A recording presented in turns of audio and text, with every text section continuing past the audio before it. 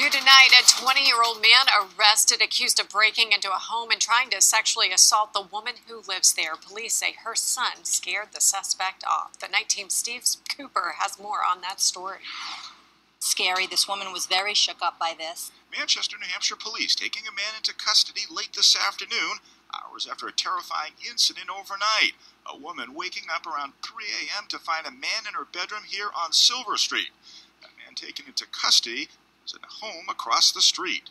This is a much more dangerous situation when somebody actually breaks into your home, and if the allegations are true, what transpired after the break in is even more alarming. Police say the suspect attempted to sexually assault the victim, who began screaming, and when her son ran into the bedroom, the suspect bolted from the house. Pretty terrifying. It's like you sleep, and then when you wake up, you hear someone in your house, you don't know who it is. Maybe a family member, maybe not. It could be anyone. But it's pretty frightening. Police were reviewing surveillance video and also speaking with neighbors through the day. Detectives have now determined that another house on the street was broken into as well. What's your reaction?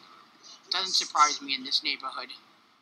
You know, it's crime in the city is horrible, and from what we've heard, it was just looking for something small, something probably to pawn. Investigators increasing patrols in the neighborhood looking for a break in the case after residents were left on edge. Usually, break ins are during the daylight hours, and most of the time, if somebody's going to break in, they break in.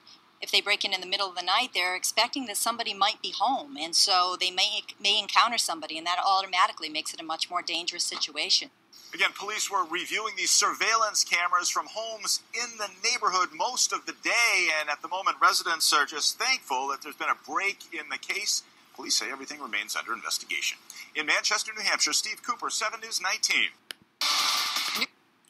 Fucking retarded. Huh? Unbelievable. News crew gets the as perpetrator is getting arrested. My, what are the chances, huh? People wake up to all the fucking bullshit, okay? The news TV cameras are not going to be there when someone's being arrested. What a bunch of fucking bullshit. Fucking wow, so stupid. Really is.